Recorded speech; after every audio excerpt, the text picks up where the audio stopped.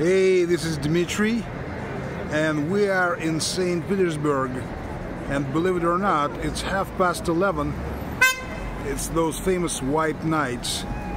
This is the Kazansky Cathedral, the house of Zenger here, and the famous church over in the distance Savior over the Blood, where the where Alexander II was murdered. So you see the crowds.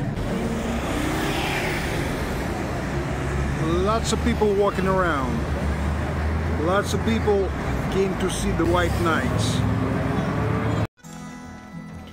This here is the Savior in the Blood. A beautiful cathedral, not as well known as some other places.